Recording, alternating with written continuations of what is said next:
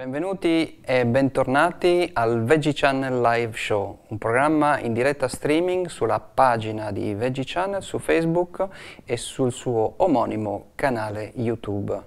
Questa sera in studio con noi abbiamo due rappresentanti dell'associazione Amiconiglio di Roma che si occupano del benessere appunto di questi simpatici animaletti. Successivamente avremo in studio con noi Giuseppe Oman che per primo a Roma ha fatto realizzare una casa di paglia, interamente di paglia, nel cuore di Roma.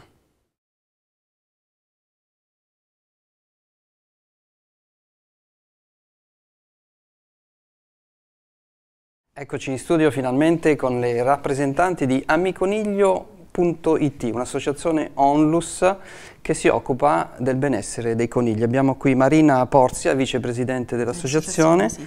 e la psicologa Emanuela Rossi. Ho buonasera. detto bene? Sì. Buonasera. Buonasera, buonasera. Allora, qual è eh, l'obiettivo di questa sera? Vogliamo dimostrare, vogliamo capire l'intelligenza del coniglio, perché ci è venuto il dubbio che il coniglio fosse proprio eh, intelligente in maniera simile al cane, in maniera simile al gatto. Infatti andremo a vedere il concetto dell'intelligenza, capire come va valutato il comportamento di un coniglio, come relazionarsi con lui e quale può essere anche l'utilità in campo sociale, eh, avendocelo per esempio come compagno, compagno di vita. Allora intanto vorrei sapere questa associazione quando è nata e di che cosa allora, si occupa? Sì, allora Miconiglio nasce, è nata praticamente dieci anni fa e questo anno ricorre proprio il decimo anno appunto de, della fondazione e nasce grazie ad alcuni volontari che mh, praticamente si sono riuniti e che sono venuti a contatto con questo animale perché praticamente ce l'hanno in casa come animale da compagnia e hanno visto che animale è, che è un animale intelligente, affettuoso, pieno di personalità, divertente e che se lo, se lo, lasciamo libero di esprimersi fuori da una gabbia, veramente è un animale che può darci tantissimo, esattamente come un cane o come un gatto. Quindi nasce poi per il recupero di questi animali perché è diventato un animale da compagnia, è il terzo animale da compagnia dopo il cane e il gatto, però purtroppo ahimè come, come il cane e come il gatto subisce la stessa sorte dell'abbandono e quindi eh, l'obiettivo dell'associazione è andare a recuperare questi mh, mm, coniglietti che eh, sono abbandonati nei parchi, nelle strade, eh, oppure ehm, andare ad aiutare famiglie che non riescono a gestirli e quindi ci chiedono di trovare per loro una nuova sistemazione. Quindi noi li accogliamo nelle nostre case, nelle case dei volontari, li recuperiamo, li curiamo. Una, una sorta di stallo come si fa? Sì, facciamo praticamente, siamo una rete di volontari che stallano mm. mm questi animali animali, sì, eh, li tengono in casa. ecco, questa scusa se ti interrompo, Dimmi. è la prima cosa che colpisce. Esistono delle associazioni che si occupano de dei conigli nello stesso modo con cui altre si occupano di cani e gatti e, e questo non si sa, quindi c'è una mancanza di informazione, esatto, sì, anche sì. perché la prima cosa che viene in mente, ma sì, ma tanto ce ne sono così pochi che non ne vale la pena, e invece qual è, qual è diciamo, la quantità di conigli, come si può dire, adottati nelle famiglie italiane? Ce ne sono tantissimi, dicevo che eh, praticamente è il terzo animale da compagnia, quindi e ci sono tantissime, tantissime associazioni e gruppi di coniglieri in Italia che si occupano di questo animale male proprio perché il fenomeno sta crescendo a dismisura. Attenzione che adesso che l'hai comunicata questa cosa, molti partiti politici usciranno fuori con una lista pro conigli sicuramente. sicuramente. Eh, guarda, tanto ci aspettiamo di tutto, no? Quindi... Però vorrei sentire un attimo la dottoressa sul concetto dell'intelligenza. So che non è un argomento facile, forse non c'è una definizione, però possiamo parlare di intelligenza o come possiamo definire le capacità relazionali di un, di un animaletto piccolo come il coniglio? Allora, diciamo che noi sì, possiamo vederlo oh, intelligente in qualche modo perché eh, riesce ad relazionarsi con noi. Eh, importante è eh, sapere eh, che lui è una preda. Quindi per scoprirlo veramente dobbiamo oh, noi che siamo predatori eh, trovare il linguaggio giusto per poter comunicare con lui. Quindi eh, la parola intelligenza forse è più da rapportarsi alla questione della comunicazione, il, il livello di comunicazione sì, che si può avere. Più portato alla comunicazione sicuramente. Quindi la capacità eh, di relazionarsi con un altro essere nostra, denota forse una certa intelligenza e la capacità del coniglio di relazionarsi con noi ci fa capire quanto sia sensibile, quanto sia da considerarsi come un altro animale, come sì, il cane. Senz'altro, non solo ce lo fa capire, ce lo fa proprio vedere, perché noi col coniglio se instauriamo una vera relazione possiamo giocarci, possiamo vedere che se lo, eh, lo chiamiamo viene da noi, e possiamo vedere che si avvicina, sale, viene in braccio, si fa coccolare, eccetera. Ecco, però vorrei questo a mio svantaggio raccontare una piccola storia perché quando non ero ancora molto sensibile alla questione degli animali, diversi anni fa vivevo a Parigi e mi sono fatto fregare perché mi hanno, eh, mi hanno, dato, mi hanno venduto due conigli dicendomi che erano eh, conigli nani e nel mio piccolo appartamento di Parigi ero sicuro di avere eh, due buoni compagni. Li ho acquistati, li ho tenuti con me per qualche tempo, ma molto rapidamente li ho dovuti dare, dare, regalare a una famiglia perché erano, nel frattempo erano diventati giganteschi, quindi Mangi. non erano assolutamente nani. Poi mangiavano, rodevano qualsiasi cosa nel, nell'appartamento e soprattutto non facevano quello che mi avevano spiegato, cioè che sarebbero, si sarebbero comportati come gatti, come cani, avrebbero risposto al nome, avrebbero eseguito qualche piccolo ordine. Perché non è successo questo e, e qual è stata la mia negligenza nel, nel fare, in, questa, in, questa, procedura. E non se ne è successo questo proprio perché le, lei si è comportato da predatore, quindi i suoi comportamenti hanno spaventato i conigli, loro in coppia hanno continuato a vivere, se possiamo, passatemi il termine, da conigli, mentre se noi eh, ci avviciniamo a loro, magari mettendoci a terra, eh, quindi avvicinandoci proprio piano piano, eh, li conquistiamo, iniziamo un certo oh, tipo di eh, rapporto e possiamo possiamo anche eh, creare un nostro mm, particolare linguaggio e quindi eh, loro cominciano a seguirci, cominciano a rispondere, però eh, poi eh, è naturale che come tutti gli animali possono combinare qualche guaio che è quello del eh, rosicchiare, rosicchiare, qualcosa oppure di far pipì in giro perché eh, può qualche, succedere. Qualche palletta? Bah, le pallette sono una situazione un po' particolare nel senso che loro segnano il territorio territorio. quindi mm. magari hanno sentito un odore particolare o mm, si sono spaventati, segnano il territorio. Beh, è più pratico tre, perché mm. la BB non la levi facilmente. Eh, sì. no, volevo dire una cosa anche a proposito del discorso che mangiano tutto, eh, quello che, che, fa, insomma, quello che noi volontari vogliamo fare. Allora, tanto sono erbivori stretti, quindi in natura eh, mangiano l'erba. Però nei negozi per i conigli vendono dei... Vendono i mangimi. Eh. allora, eh, in natura loro sono erbivori stretti, quindi mangiano l'erba, che è l'alimento base per loro, eh, si nutrono nei momenti diciamo più magri eh, di, della corteccia degli alberi, delle foglie, eccetera. In casa quindi loro non sono roditori? Non sono... roditori, sono lagomorfi. Eh, poi ci dirai la differenza, la differenza tra roditore e, e lagomorfo. lagomorfo. Che, eh, sì. È un lago No, che c'entra niente. No, è tutto no, riconducibile agli incisivi. Cerco di far ricordare. sì, sì, sì, agli incisivi. io adesso non me lo dimenticherò più. Lago Morfo, prego. Praticamente loro hanno, Manuela, eh, sei, sei, incisivi, giusto? Ne sono quattro? Oh, scusate. Allora sono quattro, quattro, sopra e due sotto, giusto? Diciamo. Allora, ripetiamo la lezione, i lagomorfi sono i conigli? Sono conigli? Sono, sono conigli, sono conigli, conigli sono lagomorfi. E non sì. sono roditori. Ok, e hanno come la dentatura? Eh, differente, eh, quattro incisivi sopra, due sotto. sotto. quelli di sopra se ne vedono solamente due, mentre i roditori ne hanno okay, quattro. Un topo è un roditore, un coniglio è un lagomorfo. Esattamente, esattamente. Però ancora purtroppo si sente in giro dire che il coniglio è un roditore, rosicchia tutto perché è un, un roditore. Non è un roditore. Comunque, ritornando al discorso della gestione in casa, il coniglio è vero che rosicchia tutto, ma anche perché si annoia. Uh-huh. Quindi mh, si può, allora, innanzitutto nel momento in cui noi mettiamo un coniglio in casa dobbiamo rendere la casa sicura a prova di coniglio.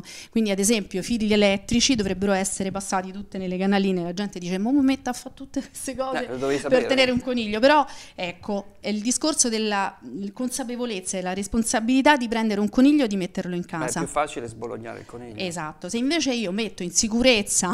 mea culpa, mea culpissima. No vabbè perché magari uno non le sa queste no, cose. mi sento in colpa terribilmente terribilmente. Eh, anch'io più di dieci anni fa, forse 15 anni fa. no, nel senso, quando ho avuto il mio primo coniglio in casa non le sapevo queste cose. Poi, quindi, poi piano piano, insomma, uno li conosce, approfondisce.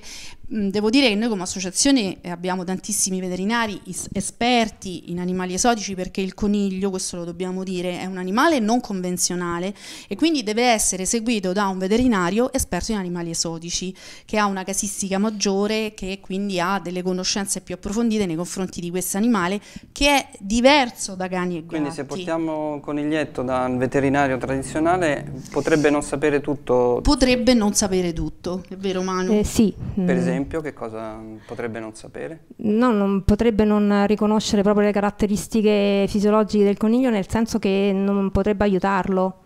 È necessario proprio un esperto in esotici. Ok, allora quindi non si deve offendere nessuno. No, assolutamente, ormai Anzi, impariamo eh, adesso che esistono tutti. veterinari, sì, sì, sì. come si dice, tradizionali e quelli specializzati in, in Diciamo il veterinario esotici. che cura prevalentemente cani e gatti e mm. poi i veterinari esperti in animali esotici che curano tutti gli animali non convenzionali e poi prettamente esotici, quelli che arrivano Scusa, d'oltremare. Da questo veterinario esotico ci si porta anche la tigre, il, cioè si diciamo, va, o solo tutti, conigli fanno? Non, no, sono Di che cosa si occupano? Pappagalli? No, esatto, no, no, no, tanti? diciamo sono tutti quegli animali che arrivano d'oltremare, cioè che, eh, Serpenti. Che, esatto, esatto. Animali non convenzionali. Animali non convenzionali, non diversi da cani e gatti, Però praticamente. il non è un non convenzionale, è, con, è un non convenzionale, è un, considerato un animale non convenzionale. Con, considerato, ma in effetti poi è un animale no, come tutti gli altri. È una convenzione o è proprio diverso per qualche motivo? No, è proprio diverso se, il coniglio. Uh, ad esempio, almeno per, mia, per l'esperienza che ho fatto, ci sono dei farmaci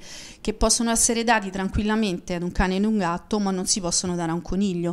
Mm. Mm, nasce tutto, per esempio, dall'apparato gastrointestinale, che ha un apparato gastrointestinale, il coniglio delicatissimo e, e particolarissimo. Loro hanno ehm, praticamente devono eh, continuamente eh, ingerire fibre perché eh, l'intestino esattamente ma l'intestino oh, di, un, di, un, di un coniglio deve essere sempre in movimento un altro quindi... luogo comune. Differenza tra cavia e coniglio. Cos'è una cavia rispetto a un coniglio? è un roditore diciamo ah, proprio che okay. la cavia è proprio un roditore è diversa da un coniglio anche se nella gestione è molto simile. Hanno più o meno la stessa alimentazione e diciamo che in aggiunta la cavia potrebbe avere una carenza di vitamina C, quindi deve mangiare determinati alimenti che vanno a compensare questa carenza.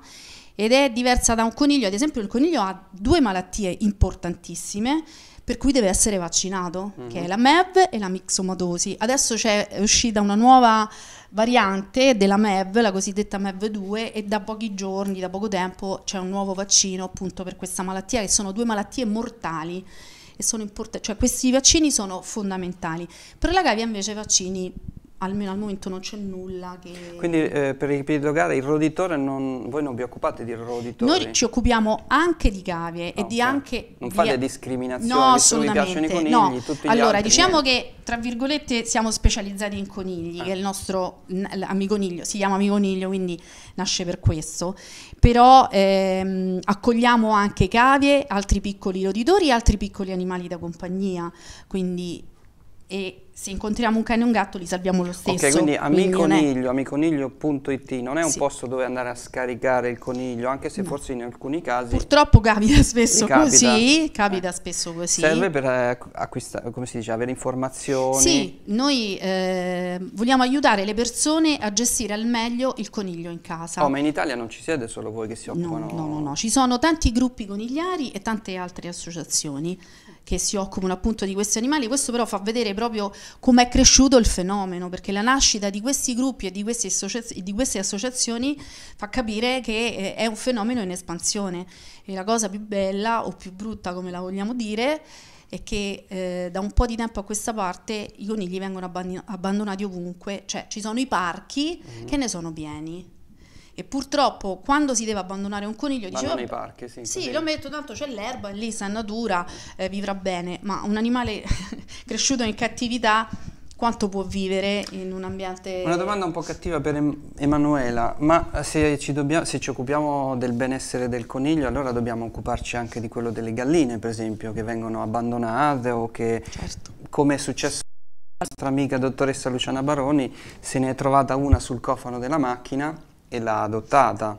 Poi alla fine di questa intervista rimanete incollati sul canale perché vi faremo vedere questo video estremamente sor molto sorprendente perché vi parla dell'intelligenza intelligenza tra virgolette di questa gallina e del rapporto che si è instaurato tra lei e questa dottoressa. Tornando alla, alla gallina, possiamo immaginare di, di avere un'associazione che si occupa del benessere delle galline? Domanda cattivissima. Penso di sì, perché sì. no? È comunque è un essere vivente, quindi sì, perché? Adesso i non, i non animalisti no? ci prenderanno per Vabbè, matti. ma tanto noi siamo abituati. Però a rigor di logica, se esiste un'associazione che si occupa certo, del benessere del certo, coniglio, certo. perché non, mh, mm, dove, dove, finisce, mh, mm, qual è la scala dell'intelligenza eh, messa in rapporto con la scala della sofferenza? Per quanto riguarda poi il problema della macellazione, molti pensano che la macellazione degli animali non, un, non sia un problema perché comunque l'animale non sente perché non è sufficientemente intelligente. Riusciamo a, a dare un, uh, una spiegazione?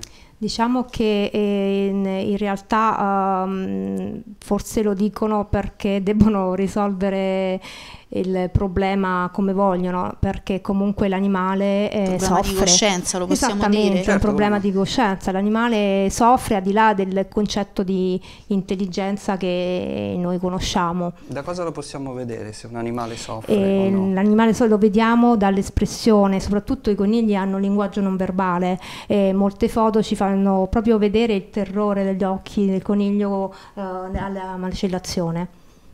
Però molti sostengono che gli animali, anche i cani, sono privi di tutti quei muscoli che invece l'essere umano ha per esprimere e i hanno altri. hanno altri mezzi di comunicazione e nostra intelligenza andarli a cercare e quindi interagire con loro. Quindi possiamo dire che eh, se pensiamo che un animale, magari anche di piccola taglia, non soffra perché riteniamo che sia il meno intelligente, quello che fa la figura del meno intelligente siamo noi. Senz'altro. Direi proprio di sì. Ok, voi invece eh, come, come, avete organizzato la vostra associazione? Quanti siete come volontari? Come siete distribuiti sul allora, territorio? Allora, la nostra associazione diciamo che opera prevalentemente ehm, a livello regionale, quindi mh, mm, prevalentemente nel Lazio e è stata proprio una scelta perché non, non si riesce a seguire poi cioè diventare nazionali significa seguire tantissime realtà diverse per ogni, per ogni regione, per ogni città e non è, non è, possibile. Quindi abbiamo scelto di rimanere regionali, operiamo principalmente, principalmente nel Lazio. E, ehm, a, a, Roma attualmente abbiamo circa 25 volontari. Eh, sì, che eh, diciamo i 25 volontari sono proprio quelli attivi e poi abbiamo chiaramente tantissime persone che ci seguono, che ci danno una mano come possono, mm. eccetera.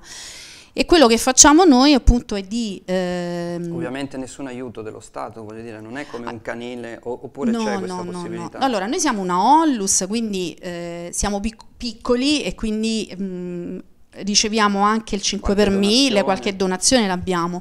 Poi abbiamo tante donazioni di, degli appassionati di questi animali perché eh, è un mondo un po' sommerso, non si mm. sa, ma ci sono tantissimi appassionati, tantissime persone che eh, ci donano, eh, fanno delle offerte, mh, mm, non so, fanno le raccolte fieno, raccolte cibo, insomma, viviamo di questo. A volte quando proprio non ce la facciamo ci autotassiamo okay. e andiamo avanti, insomma. Ecco, adesso abbiamo deciso di non mostrarvi tutta una serie di immagini che ci avete mandato perché ci sono dentro dei bambini, dei bambini che si relazionano esatto. con questi, con questi mh, mm, coniglietti biglietti, chissà, forse magari poi ci metteremo d'accordo con e i genitori e riusciremo a vederle come no, ugualmente. Come no, Però come ce no. le potete raccontare un attimo queste immagini?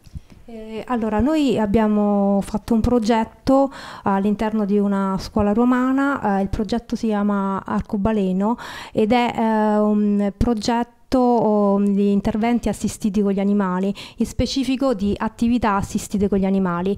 Questo progetto oh, nasce eh, per, per permettere ai bambini di interagire in modo corretto con un animale, in questo caso il coniglio, e, di permettere di usufruire eh, del benessere che deriva dalla relazione uomo-animale. Il progetto si suddivide in tre fasi. nella prima fase abbiamo fatto degli incontri eh, con, esclusivamente con i i bambini eh, per poter eh, conoscerli, eh, relazionarsi con loro e ehm, vedere se eh, c'erano delle, attraverso il comportamento, vedere se c'erano delle ulteriori, ulteriori difficoltà. Sì, una volta sì, venivano chiamati, chiamati pet therapy, la, famosa pet, pet therapy. adesso viene chiamata appunto interventi assistiti con gli animali e poi ci sono le attività, le attività assistite, assistite con gli animali, che quelle che abbiamo fatto noi. che abbiamo fatto noi con e dove i bambini. posso rivolgermi per avere qualche, non so, sono un genitore, voglio far fare questa attività a mio figlio?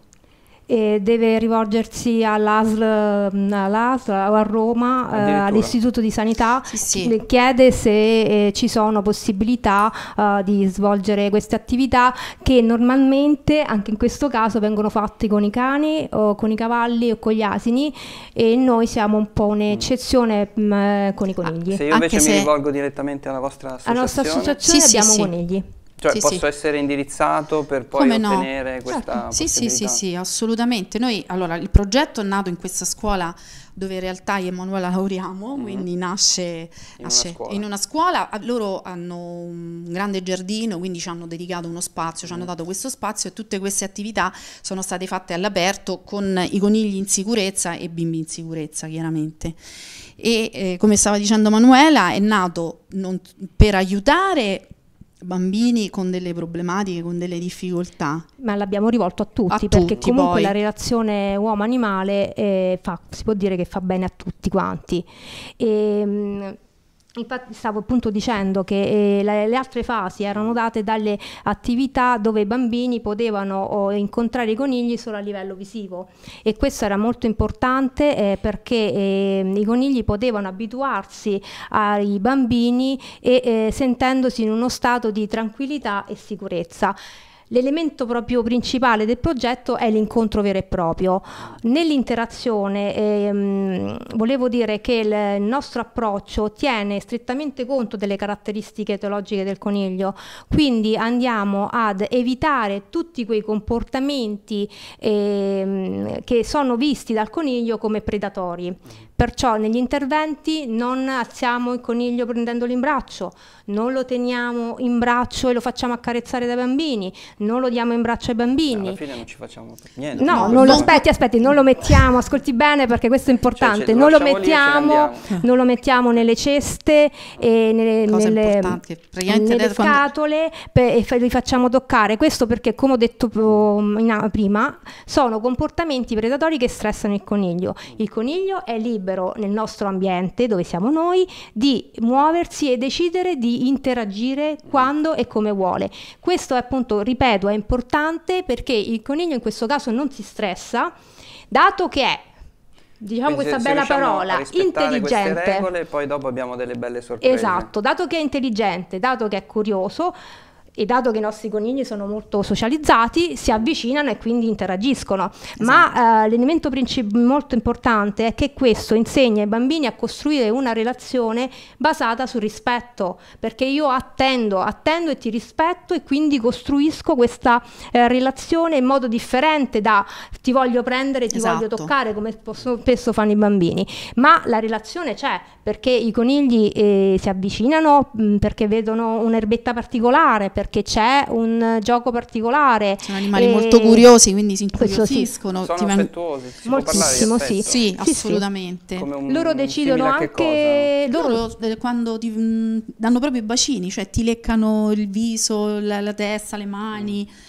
eh, lo fanno esattamente come lo può fare, come fa il cane, come fa il gatto. Come fanno anche tra di loro. Come loro esatto. per il di loro. È importante capire che, che esiste un'altra forma di intelligenza esatto. che ha che non è come la nostra, quindi esatto. considerarlo predatore, eh, non andargli incontro. È importante capire che esiste una forma di comunicazione differente, yes. perché noi non abbiamo dei risultati scientifici purtroppo da uh, questo progetto, però per esempio in alcuni bambini non dotati abbiamo notato che hanno acquisito dei, dei canali di comunicazione differente eh, per interagire in modo proficuo mm. con i bambini con difficoltà sia di handicap eh, che sociale, quindi acquisiscono proprio una modalità uh, diversa. diversa. Certo, non tutti, perché certo. ogni bambino ha la sua sensibilità, eh, siamo tutti diversi naturalmente. Beh, molto interessante, quindi a partire dalla, dall'acquisizione di una nuova forma di intelligenza, dalla capacità di interagire con una, una, un essere diverso da noi, esatto. possiamo essere migliori anche nella società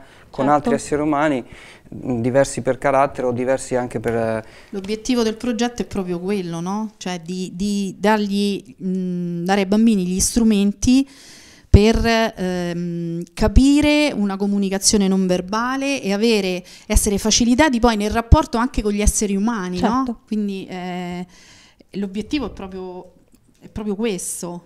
Va bene, io direi che abbiamo suscitato notevole curiosità eh, quindi vi inviterei a, a, rivederci, pregherei anche coloro che ci seguono di farci conoscere le loro storie, perché no portare qui, certo portare qui un, un coniglio forse è troppo stressante, non è una cosa da farsi. Eh, mm, però mm, io sì, mm, ci pensavo, cioè abbiamo dei coniglietti tipo Luke, loro che sono abituati anche al, all'attività Abbiamo bisogno di mezz'ora prima per ambientarli. Dovremmo sì, farli ambientare un pochino prima perché no, sì, si può fare no, tranquillamente. tranquillamente evitarlo, eh se, se, per stressare il, il coniglietto non, non c'è bisogno, possiamo Dipende, filmarlo. Ma dipende condizioni... sempre da, dall'approccio, da come, da come lo presentiamo. Comunque... Qualche settimana fa abbiamo avuto in studio un agnellino quasi appena nato, era però tranquillissimo, era visibilmente sì, sì, sì, a suo agio, quindi non ci siamo preoccupati che, più di tanto. Insomma, si può fare, credo di sì, che lo possiamo fare. Anche proprio per far vedere effettivamente che cosa sono questi animali, perché non, eh, io dico sempre che sono degli illustri sconosciuti, pur avendoli in casa, perché non, non, non li conosciamo. Eh, diciamo che eh, vederli veramente sarebbe mh, mm, meglio un video perché in ambienti più tranquilli certo, riescono a fare diverse cose perché anche Milù ha una, un incontro dell'associazione di Amigoniglio praticamente è rimasta immobile quindi allora, che appello possiamo fare per aiutare l'associazione, oltre a ricordarvi che su amiconiglio.it si possono avere tutte le informazioni necessarie, però di cosa ha bisogno in questo allora, momento l'associazione? Eh, l'associazione in questo momento ha bisogno di affidatari, cioè quindi di persone che fanno gli stalli, perché le richieste di aiuto sono tantissime e avendo fatto la scelta eh, di non avere un rifugio proprio perché ehm, gli animali possano vivere in casa e quindi nel momento in cui poi vanno eh, in adozione eh, insomma siano animali socializzati, però purtroppo eh, gli spazi che abbiamo non, sono, non, non, non, vanno a coprire tutta la richiesta che c'è. Quindi chiediamo eh, aiuto a quei volontari che hanno un piccolo spazio eh, in casa da offrire a, a, questi piccoli animali. Tutte le spese sono a carico dell'associazione, quindi a noi ci serve solo uno spazio per accoglierli, il tempo necessario per trovare loro una nuova sistemazione. Quindi questa è veramente per noi una, una grande cosa. E, um, un'ultima cosa volevo Prego. aggiungere è che eh, da un anno l'associazione ha una sezione anche di guardie zoofile all'interno dell'associazione. le guardie zoofile praticamente si occupano del, um, del rispetto eh, di alcune leggi che ancora, anche se ce ne sono, non sono ancora tantissime, ma ce ne sono, a favore degli animali, a tutela degli animali, che è appunto la, la 189 che è la legge quadro, poi abbiamo una legge regionale che tutela gli animali e vari re regolamenti comunali. Quindi mh, in questo caso Amiconiglio che si occupa prevalentemente di conigli, attraverso le guardie zoofile ha la possibilità di aiutare praticamente tutti gli animali. Quindi chi vuole fare una segnalazione può farlo scrivendo a guardie zoofile noa amiconiglio.it per, per, per appunto far intervenire. Molto bene, grazie Marina, grazie, grazie, grazie a voi, grazie, grazie veramente. a trovarci. Eh, vi mh, mm, vorrei invitare a rimanere con noi fino alla fine di questa intervista per non perdervi la storia di Molly, la gallina piovuta dal cielo e eh, per ultimo vorrei salutare il nostro coniglio amico Yasha eh, che vive in questo momento con Sasha e Misha, li ho detti tutti, e quindi alla prossima edizione con Amico Niglio. Ciao. Lei è Molly. E Molly è uscita dal nulla, si è concretizzata sul cofano della macchina una mattina di, di un anno e mezzo fa circa. Era lì che dormiva Beata e io l'ho, trovata montando in macchina, sono, ho visto questi due occhi che mi guardavano e così l'ho presa su, l'ho portata a casa. In giro non ci sono pollai, non ci sono galline. Noi pensiamo che sia caduta giù da un camion di quelli che trasportano polli, anche perché aveva tutto il, il collo completamente senza piume e probabilmente si è messa sul cofano della macchina perché era freddo, il cofano era caldo e ha passato lì la notte, solo che ha dimostrato un'intelligenza estrema perché ha scelto l'unica macchina di una famiglia vegana da 10 anni, per cui ha scelto una, una famiglia che non solo non mangerà mai lei, ma nemmeno le sue uova. Vero Molly? Sì, sì, sì, sì. E poi sembra di avere un cagnolino, nel senso che quando arrivo a casa lei mi viene incontro, mi fa le feste. Tutti i giorni fa il suo ovetto che viene regalato in giro agli amanti delle uova fresche. Comunque sono uova ovviamente non, non, fer non fertili e nemmeno frutto di sofferenza, quindi sarebbero un prototipo di uovo vegano. Non avevo mai avuto una gallina e pensavo che fosse un animale estremamente stupido. Eh, invece devo dire che è un animale intelligentissimo. Io penso che quando mh, mm, si riesce a comunicare con un animale, eh, questo presuppone che ci sia una certa capacità di eh, utilizzare alcune funzioni cognitive, un animale che è in grado di comunicare con eh, un altro animale di un'altra specie, probabilmente riesce a sfruttare un qualcosa che lui riesce a ricavare con delle strategie mm, che presuppongono eh, una certa intelligenza, anche se ovviamente non possiamo paragonare l'intelligenza eh, di un animale all'intelligenza di un altro animale, cioè ogni animale ha un'intelligenza differente dall'altro, il che non vuol dire che siano più o meno intelligenti, cioè non è, non è una questione quantitativa ma qualitativa. Lei quando mi vede uh, si accuccia, allarga le alette e aspetta la carezza. Poi ripeto, quando arrivo a casa mi viene incontro, mi fa le feste, poi quando ci mettiamo a mangiare lei arriva, si mette sulla finestra e ci guarda e sa che quando finiamo di mangiare poi le diamo sempre la pasta avanzata, il riso avanzato, insomma quello che...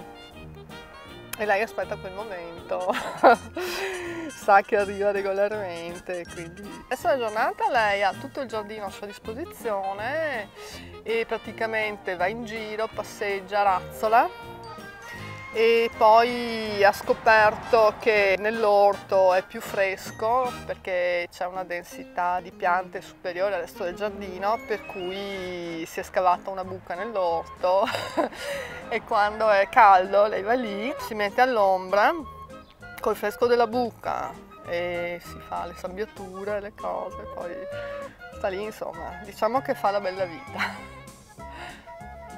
Lei convive tranquillamente con i cani. Ho visto all'inizio, eh, però non con i miei cani, con un altro cane di un amico che era venuto qui e che aveva cominciato a correre dietro, lei si è subito gonfiata, ha allargato le, le, le ali, quindi ha, ha assunto quel, quell'atteggiamento da difesa che di solito è innato negli animali e il cane non ha più provato a a darle fastidio, insomma. Eh, sei stufa, sei stufa, sei stufa, sei stufa. Io le, le dico spesso che lei è la gallina, è la gallina più intelligente del mondo e anche la più fortunata. Perché eh, noi non, magari pensiamo che le galline vivano pochissimo, ma in realtà le galline possono vivere fino a 18 anni. Se pensiamo che vengono fatte nascere e allevate per diventare degli enormi pulcini che a tre settimane e quattro vengono sacrificati per essere mangiati è, è, è, terribile pensare a questo, cioè pensare che un esserino così possa, possa venire mangiato. Cioè l'unico scopo della sua vita possa essere quello di far mangiare qualcuno una coscia di pollo o, o o qualcosa del, di simile.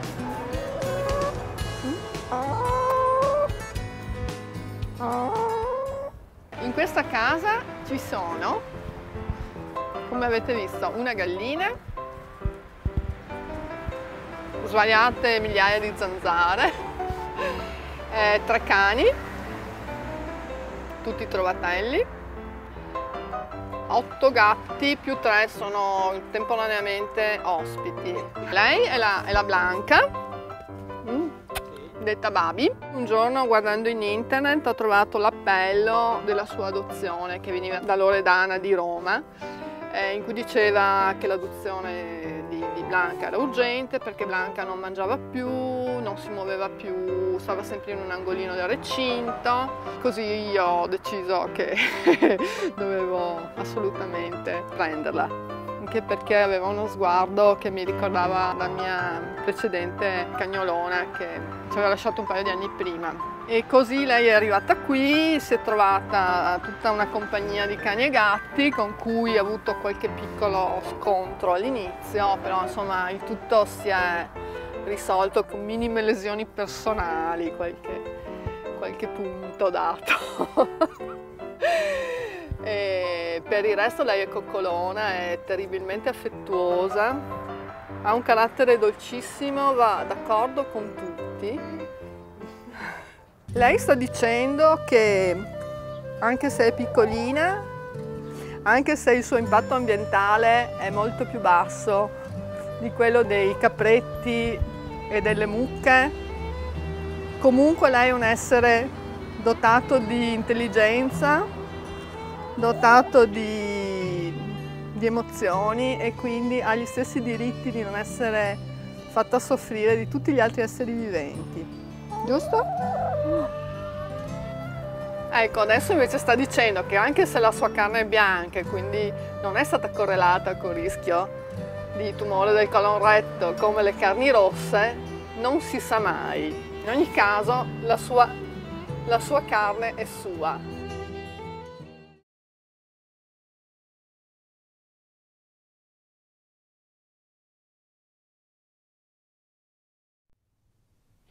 Ecco, mentre voi stavate guardando la storia della gallina piovuta dal cielo, noi ci siamo spostati veloci veloci a casa di Giuseppe Oman. Grazie di, di, di riceverci Giuseppe. Prego, prego, benvenuti. Giuseppe, come... che dici? Parliamo al microfono? Sì, scusate. come stai? Come, come ti trovi finalmente in questa bellissima casa, devo dire? Me la sto proprio godendo tutti i giorni perché per me è un luogo fantastico di di pace veramente e poi devo dire anche di bellezza perché nonostante così la semplicità però sono tutte cose che ho costruito, ho meditato a lungo, quindi è un luogo che vivo con gioia veramente. Allora, sveliamo un attimo, questa è la casa ideale per i conigli abbiamo, di cui abbiamo parlato prima. Perché sarebbe la casa ideale per un, per un coniglio?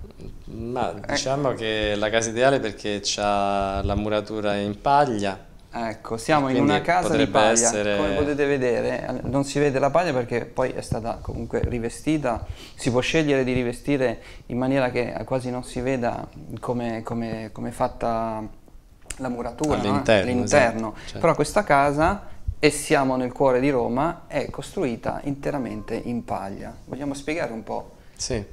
Questa casa mh, praticamente è stata una scelta meditata per tanti motivi. Eh, la struttura eh, di base è fatta in legno e eh, la tamponatura in paglia. Eh, perché questo? Perché è un materiale estremamente povero, perché diciamo, è lo scarto della lavorazione del grano o dell'orzo, però in realtà è un materiale altamente tecnologico lo scarto, però i conigli ci andrebbero a nozze. È logico. Ma eh, la mangiano la paglia eh, o, mangiano, sì, la mangiano, sì. o mangiano il fieno? Più fieno. Più fieno, fieno okay. Però penso che non disdegnerebbero di oh, però, eh, Nonostante tutto, all'interno della casa, come potete vedere, siamo venuti qua per verificare, perché noi abbiamo nel 2012 conosciuto Giuseppe proprio perché c'era uno scoop da fare. A Roma veniva costruita la prima casa di paglia in assoluto e Giuseppe è lui che l'ha fatta costruire. Siamo venuti, l'abbiamo seguito durante le, la, tutte le fasi della, della, costruzione, della crescita, ma non eravamo riusciti a, ad essere invitati da te all'interno. È, è, stato, è stata una procedura abbastanza lunga per arrivare alla fine di tutti i lavori, insomma dispendiosa sia di forze sia anche tutto fatto abbastanza in economia, quindi... Beh, devo dire che una... è un'egregia casa. Ci troviamo nel quartiere del Quadraro, un quartiere storico di Roma, dove eh, hai costruito questa casa che è un piano terra, tra poco la vedremo meglio perché c'è un reportage sì. eh, che ci farà vedere proprio come è stata costruita. Ma perché la scelta di questo quartiere e perché la scelta di fare una casa di paglia? Ma il quartiere mm, ha delle tradizioni particolari, è un quartiere nato nei primi del Novecento ed era in origine abbastanza isolato dalla città, poi è stato raggiunto da enormi palazzoni che gli sono cresciuti intorno, però lui ha mantenuto diciamo, una struttura da, da, da paese, un paesotto, quindi case, esatto, c'erano anche forse le pecore, c'erano... C'erano, sì, sì, sono state per lungo tempo nei dintorni mm. i pastori con le pecore. Se non ricordo male, nel giardino di, della, di questa casa c'era una, un, una grossa botte, c'era un, un un bar forse, un bar antico? Allora, sì, sì, no, proprio dove era la mia casa in realtà era un'osteria. Era un'osteria e c'è ancora questo, ritrovo di tutti... Questa botte gigantesca, mi ricordo che eh, vista in giardino. Adesso insomma, è andata un po' in malora. Ma era, era, Incuria, era conciata male? Sì, sì, però non ho potuto provvedere a un restauro adeguato, quindi poi alla fine è andata, è andata perduta. Però era proprio mm. l'osteria che si chiamava Il Galletto e radunava un po' tutta la gente del quartiere che quando aveva finito il lavoro voleva rilassarsi, chiacchierare, andava lì. Allora, adesso penso che sarà venuta la curiosità di vedere questa casa dall'esterno e soprattutto come sono, si sono svolte le fasi della costruzione. Quindi pregherei eh, Giulia che è in regia di mandare il, la prima parte del servizio che abbiamo realizzato con te nel 2012. La struttura viene creata proprio sulla grandezza della balla di paglia. Questo tipo di struttura è fatta a piccoli segmenti che sono stati scelti proprio della lunghezza della balla stessa. E tutte queste porzioni quindi sono state eh, proprio eh, tagliate in base alla grandezza della balla e queste piccole invece sono delle, delle balle che vengono frazionate per via delle necessità diciamo, che abbiamo di riempimento degli spazi non, uh, non, regolari. Queste sono all'incirca 400 balle, considerato anche che una parte viene, viene, messa nel tetto, questa è un po' una novità diciamo, che è stata affrontata con il nostro architetto. E, ehm, praticamente è stato fatto un alloggio di 20 cm sfruttando la larghezza delle travi e, sono state fatte quindi delle micro balle che sono state eh, poi inserite diciamo, all'interno delle, delle, travi. Queste balle eh, devono essere abbastanza pressate perché questo dà garanzia sia per quanto riguarda la coibentazione sia per quanto riguarda resistenza al fuoco e quindi diciamo, realizzare la struttura migliore possibile. Eh, ecco, queste sono per esempio queste sono delle balle lavorate, sono state fatte con dei cerchiaggi eh, per renderle più piccole a seconda delle, dei posti dove si devono mettere. Queste sono delle risulte del lavoro. Il problema grosso delle balle è che non debbano prendere umido, quindi c'è un problema anche di stoccaggio nei periodi soprattutto di pioggia. Eh, quindi è stato preso un telo apposta per tenerle nel giardino quando, quando si doveva preparare della platea della, della fondazione. Ecco, adesso siamo in una nuova stanza, diversa da quella di prima, ma non perché ci siamo per davvero, vi abbiamo, abbiamo bleffato un pochettino con voi, abbiamo giocato, perché non era possibile trasferirci tutti insieme a casa di Giuseppe, allora Giuseppe ha portato le foto e le abbiamo messe come sfondo. Adesso che abbiamo visto la, la fase di costruzione iniziale di questa casa, ci vuoi spiegare un attimino proprio tecnicamente come, come si procede per costruire questo tipo di, di abitazione?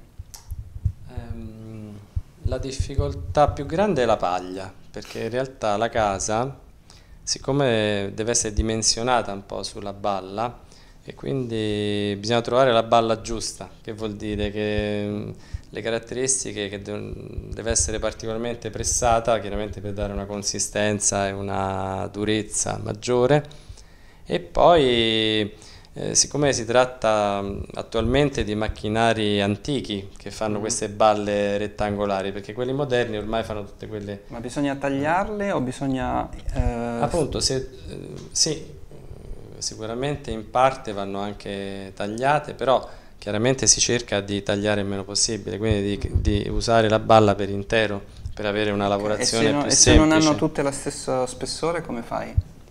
Eh, diciamo c'è un minimo di elasticità. Quindi... Ti, poi ti viene il muro a bozzi, qui non mi sembra che... Eh, esattamente, sia... sì sì. E a me sarebbe piaciuto più a il bozzi. muro a bozzi, francamente, non, mm. non mi interessava fare questa...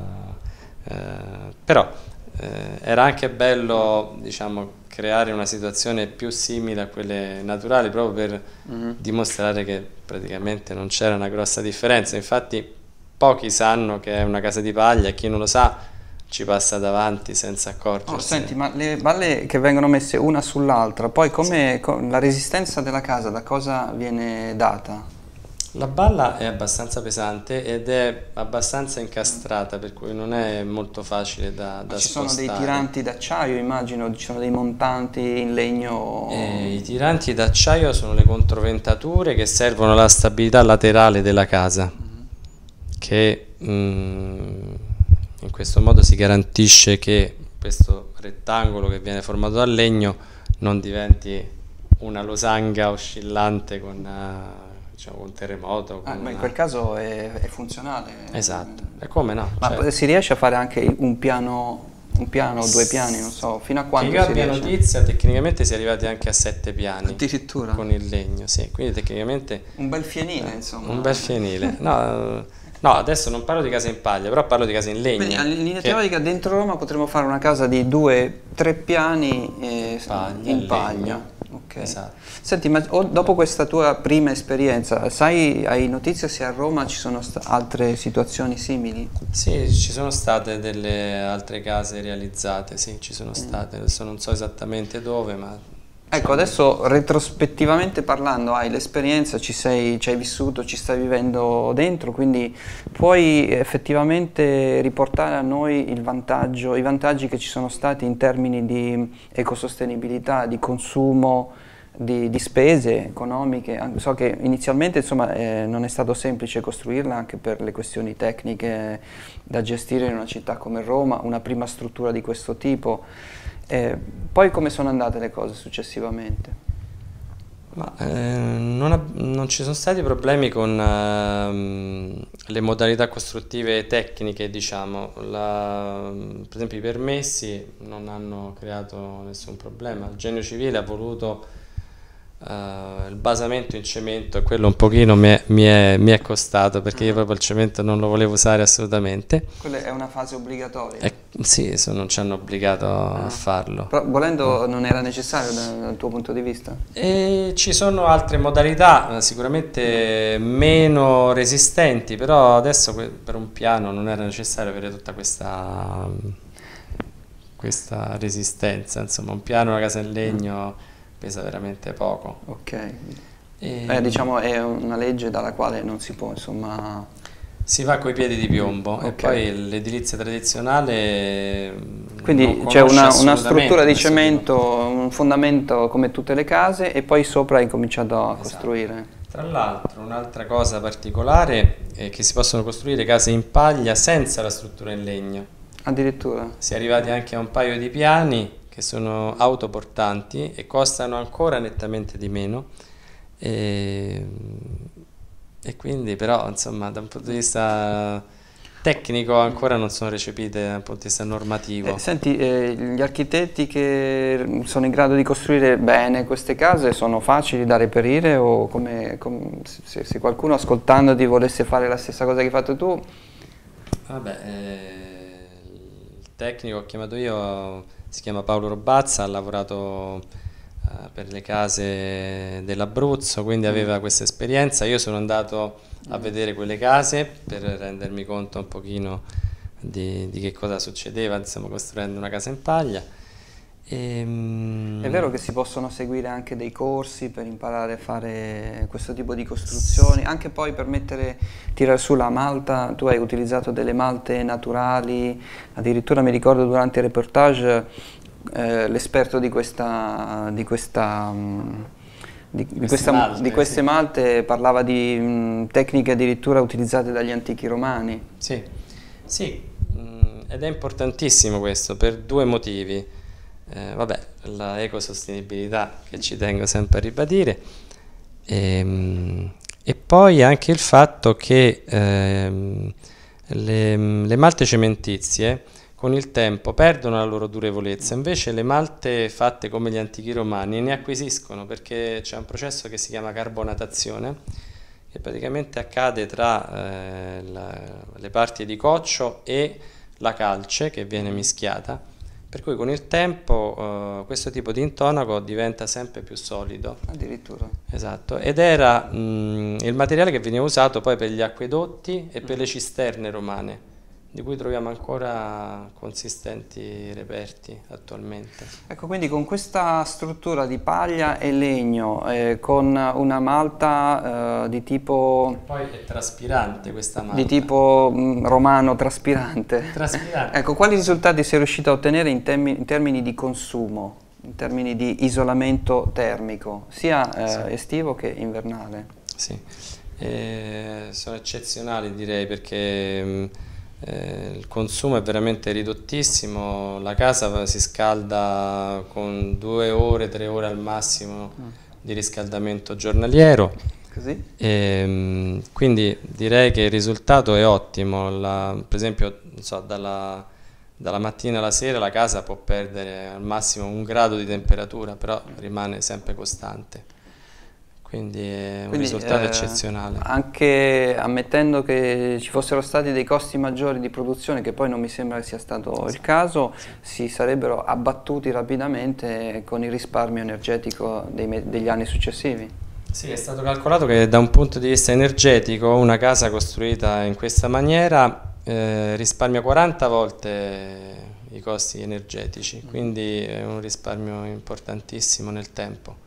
Eh, inizialmente la spesa non è neanche così elevata perché, anzi, eh, per una casa di queste, mh, mm, di queste caratteristiche mm-hmm. energetiche è senz'altro più basso. Bene, direi che eh, la tua testimonianza è molto molto importante, che spero che molte persone possano prendere ispirazione da, da quello che, che hai testimoniato tu oggi. Io adesso vorrei mostrare il, il, seguito della visita guidata che ci hai fatto nel 2012 per vedere come si sono ultimate queste, queste procedure di costruzione. Prego regia. Qui è stata creata appunto questa, eh, questa doppia camera, questa è una funzione eh, strutturale a piccoli travetti. Eh, queste qua sono, le, ehm, sono i tiranti diciamo, per le oscillazioni e ha una funzione antisismica si chiamano controventature tecnicamente. Qui vedete le cose dall'esterno, eh, ci sono delle parti metalliche che hanno una funzione strutturale, queste sono, eh, anche queste riguardano un po' le oscillazioni eh, della casa, perché questo chiaramente è tutto normato adesso per motivi eh, di prevenzione del, dei sismi. La paglia viene tagliata con una motosega in sostanza e poi rifinita con eh, un decespugliatore. Da un punto di vista costruttivo le, le parti diciamo, sintetiche che sono state usate sono quelle che eh, abbiamo dovuto usare per esempio per isolarci dall'umido e quindi abbiamo una parete di confine con l'altra casa che è stata isolata per motivi proprio di, di traspirazione, quella parte eh, ovest diciamo, della casa, quella lì. Perché lì si crea un problema, la paglia deve rimanere molto asciutta, la necessità è quella di tenere la, la paglia sempre asciutta. Poi c'è la parte anche del basamento che mm, siamo stati obbligati a farla in cemento armato, cioè quella è una struttura comunque che inderogabilmente deve essere fatta in cemento da un punto di vista proprio. Bene, adesso che abbiamo terminato la, la visita guidata mh, mm, vorrei che tu ci chiarissi, ci chiarissi, questo dilemma. Cosa succede durante la costruzione di una casa di paglia se si mette a piovere? Come, come vi siete organizzati? Anche perché noi siamo stati lì quei giorni e c'erano delle plastiche da tutte le parti. È sempre così complicato o c'è una procedura che ci salva anche dal temporale? Ma è molto complicata la gestione della paglia. Innanzitutto c'è uno stoccaggio iniziale Pure quindi la paglia va, va tenuta sotto un telo, lì ho comprato un telo di più di 100 metri quadri per tenerla sotto. E poi in fase di lavorazione c'è lo stesso problema. La paglia, mm, eh, diciamo, se si bagna si rischia ecco, che dire, si... Se tu chiudi le mura con la paglia umida è un disastro, immagino, devono essere assolutamente asciutte. Eh, devono essere asciutte. Eh, è difficile proprio che si bagni proprio all'interno, mm -hmm. anche se è esposta la balla, però va evitato chiaramente, è un rischio che è meglio non correre e quindi mh, sicuramente è un problema quando piove e quindi con i teli si corre per quindi chiudere. Bisogna Ma prendere mille precauzioni, bisogna assicurare la, che la, la, balla sia asciutta. Esatto, la disavventura più grossa è stata con il tetto che avevo realizzato con le balle eh, però ecco lì la pioggia ce l'ha fatto proprio smontare tutto completamente. Infatti.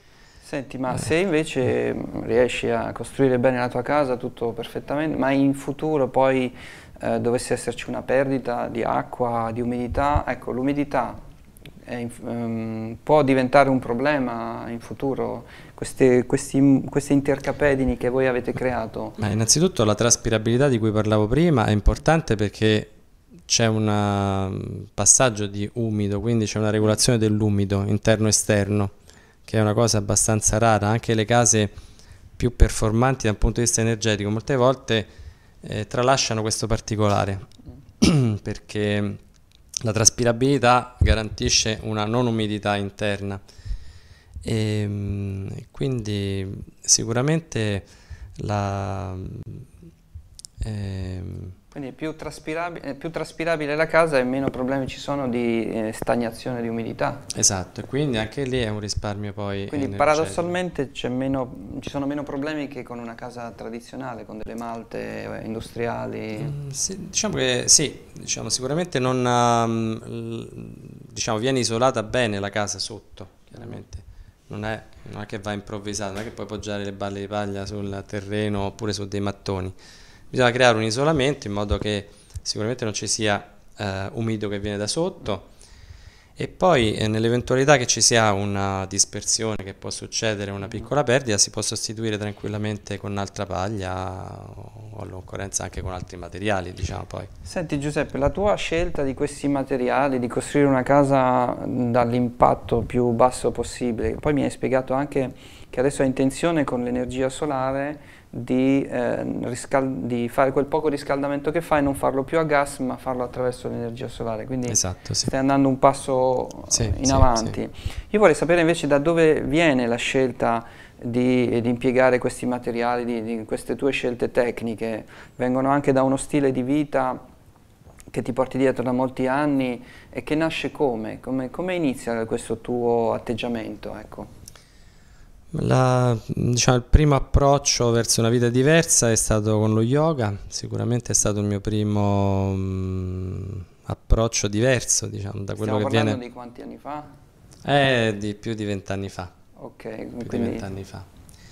E, e, poi è proseguito con, con, esperienze diverse, con ricerche diverse, mh, vedete anche abbastanza libri, è stata una mia passione anche questa e, e, vari tipi di filosofie orientali e, e, ricerca, insomma direi soprattutto ricerca, ricerca in tutti i campi e poi eh, lo sapete che sono... A forza di leggere, mm. di ricercare, sei arrivato a delle conclusioni, sei arrivato a fare delle scelte anche alimentari. No, sì, esatto, la nostra vita è una scelta continua che determina tante cose, per cui bisogna essere sempre responsabili di tutto e verso tutti, quindi verso di noi e verso gli altri. Poi coincide in effetti perché eh, vivere bene poi è un vantaggio per tutti.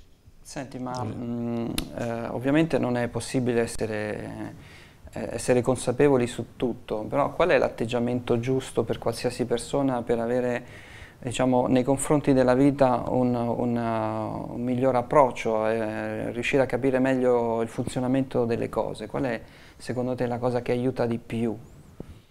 l'attenzione, direi che l'attenzione eh, che poi diventa conoscenza eh, e anche la conoscenza aiuta poi a discriminare bene cosa fare, come fare, eh, in primis poi anche la conoscenza di se stessi, no?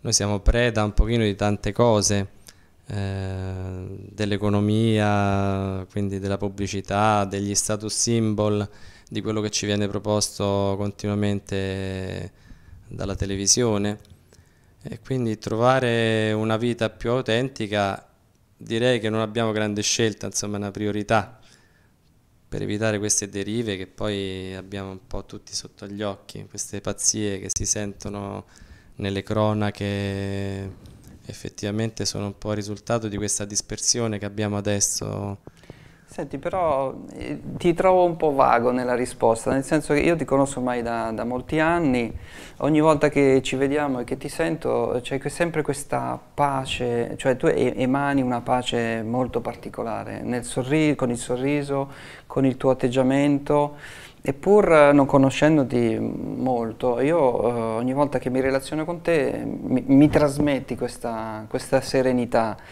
Allora, ok, abbiamo capito che hai fatto yoga, sappiamo che pratichi l'aikido, però qui c'è una, una, cosa che ci devi svelare. Qual è il tuo segreto? Dacci una chiave eh, di lettura di quello che sei. Ma no, non credo che ci sia un segreto e non vorrei neanche dare delle ricette che sono, magari sono valide solo per me, quindi mm. potrebbe anche essere sbagliato per altri.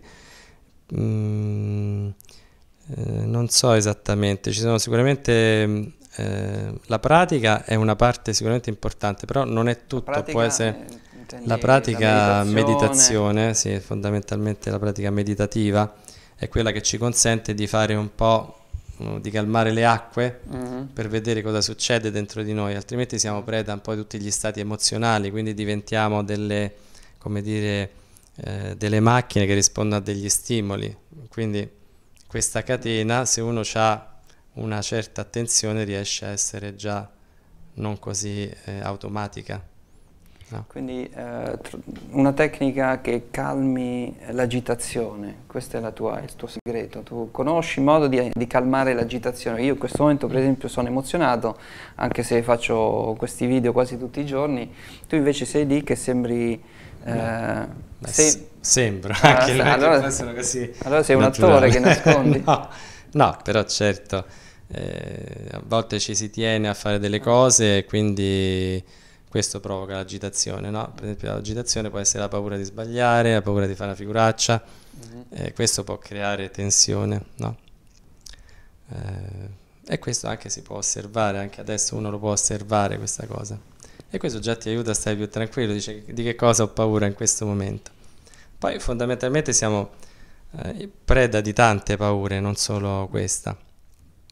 E queste però non ci devono guidare nelle scelte. Mm-hmm. Anzi, sapere che cosa ci spaventa, che cosa ci preoccupa è importante per capire come muoversi, no?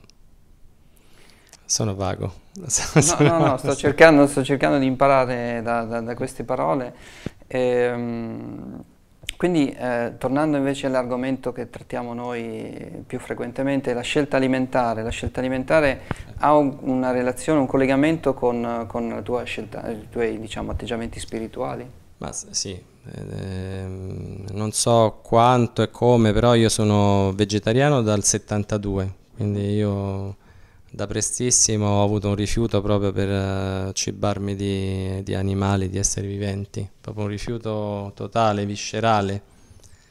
E, e ho vissuto per tantissimi anni lottando con uh, tutti quelli che mi dicevano che mi sarei ammalato, che avrei avuto un sacco di problemi. Poi per fortuna questa conoscenza, questa filosofia di vita eh, si è un po' diffusa, per cui adesso ho avuto grandi contatti e grandi appoggi, però eh, questo sicuramente è, è importante.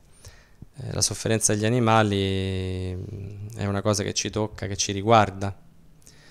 Eh, e così di tutti gli altri esseri viventi. Questa è una questione anche di empatia, empatia verso gli uomini ma anche verso gli animali, a prescindere che poi il veganesimo è anche un'empatia verso gli uomini, perché noi sappiamo che appunto la maggior parte dei cereali eh, coltivati viene destinata alle bestie e non alle persone. Uh -huh. Questa è una grande fonte di diseguaglianza e di ingiustizia nel, nel pianeta. Queste sono cose grosse e importanti al di là del io faccio come mi pare, mi mangio la bistecca, eccetera, eccetera.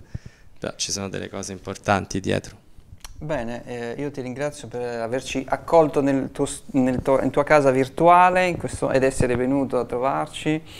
Eh, Giuseppe Oman, eh, se volete avere informazioni su come costruire una casa ecosostenibile anche in una città come, quella, come Roma, come la capitale, ma anche direi di contattarlo, possono contattarlo, trovarti su sì. Facebook, sì. perché lui opera a Roma come fisioterapista, però come vedete eh, conosce, conosce tante cose interessanti, quindi ci sono tanti buoni motivi per prendere contatto con lui. Grazie Giuseppe e alla prossima esperienza. Grazie.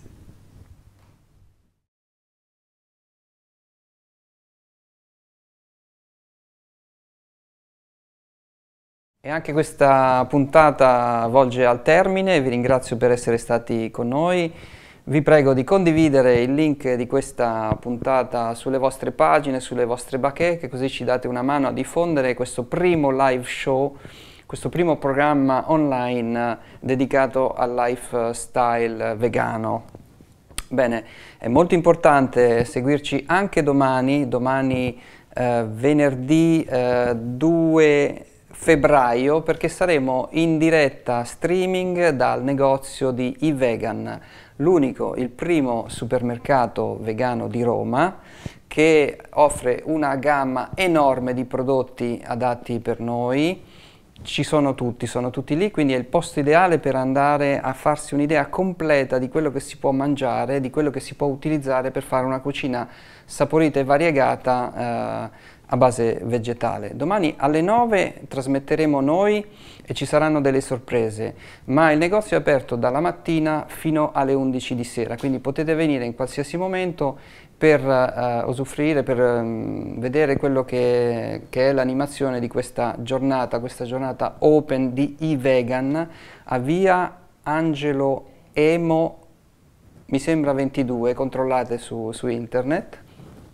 E noi saremo lì dalle 21 con una diretta in live streaming e ci saranno uh, degli ospiti speciali e soprattutto la degustazione di nuovi cibi e di, eh, eh, ci saranno delle case produttrici di cibo vegano che ci faranno assaggiare le novità. Dalla regia mi comunicano che il negozio di iVegan si trova a via Angelo Emo 125 vicino al Vaticano. E con questo vi saluto e vi dico ciao, a domani.